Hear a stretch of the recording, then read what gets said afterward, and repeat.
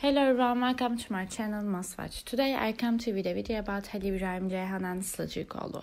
Before I move into my video, don't forget to subscribe to my channel and pressing the like button. Thank you and let's get into my video. Halil İbrahim Ceyhan's statements about Sıla Türkoğlu were remarkable. Halil made positive statements about Sıla''s personality and stated that he still loves her very much. These statements may shed light on the duo's past relationship and experiences. Sıla Türkoğlu has a musical career uh, as one of Turkey's most popular singers. Her private life and relationships attract the attention of the media and her fans. The fact that Halil İbrahim Ceyhan shared his positive thoughts about Sıla shows that a past relationship can still be remembered with positive feelings. However, such statements are usually made in a personal and emotional context and should not be taken as an official statement.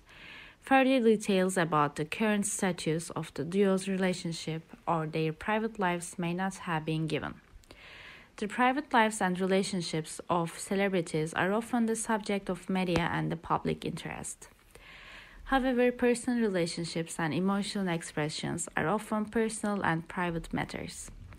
It should be remembered that such statements are made in an emotional context rather than providing uh, concrete information about relationship. Thank you very much for watching my video. See you in the next one. Take care and goodbye.